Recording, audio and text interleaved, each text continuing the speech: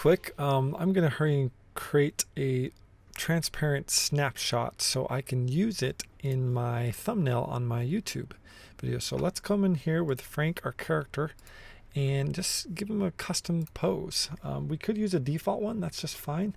Uh, but I'm just going to do a custom one because I can. So I'm going to click on his hand. I'm going to bring his left hand over here. And let's just see what if we bring his um, whole arm. So I want to click on his arm all the way. That was his neck. Let's see. Let's see if we can get his arm. I want this arm. I want him to be coming and walking like this. There. And then now let's get his other leg.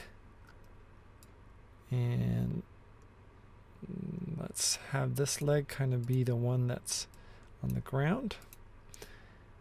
And let's move this leg back so it looks like he's kind of walking, you know, forward. And there we go. So now I just need to go to render, image, PNG, current frame.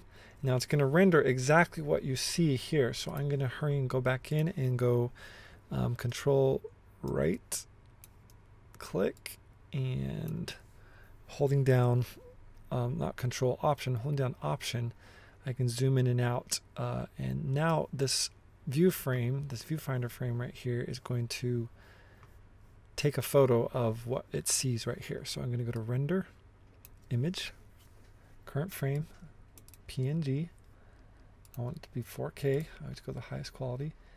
Export. And let's go put it in our turtle folder artwork. And I'm going to call this render one. Now if I go look at that um, there it is. I can use that in my thumbnail. Like so. And so save. I'm going to call this 2 and now I can do Illustrator setup. There. Save. And I'm going to turn off these because I'm only going to turn on the ones I'm using in the tutorial. So let's move that over.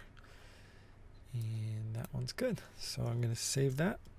Anyways, that's how you export a still frame of Frank.